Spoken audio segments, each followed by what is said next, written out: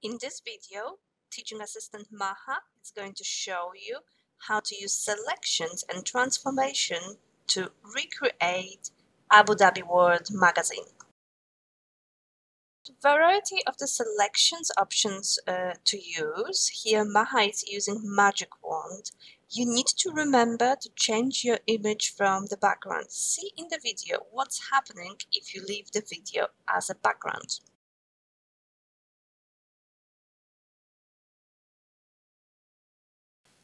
If you're using Magic Wand, you might need to change tolerance depending on the contrast between your main object and the area you want to delete.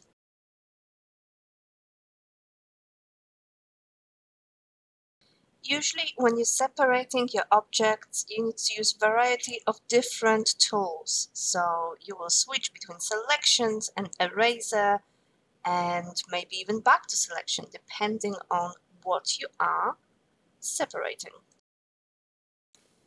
Here Maha is showing you another way to select uh, elements of the image. You can use quick mask if you've got plain contrasted background.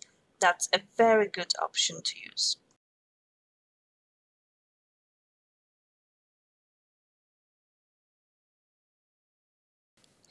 Let's move to your proper exercise open Abu Dhabi World exercise file and change the file from the background. While you're working on it, you will need to move between different selection tools, erasers, you will need to separate uh, parts of the image and also transform them by rotation. Follow what you see on the screen and you can use shortcuts as well to make this exercise easier. Is selecting parts of the magazines and putting them onto a different file. That's one of the ways to uh, keep your image organized while you using lots of different transformations. You can follow exactly what Maha is doing or you can come up with different ways of recreating the image.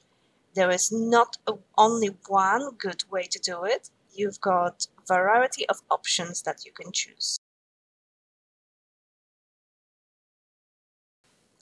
In this exercise, you're expected to do approximation of stitching this page together.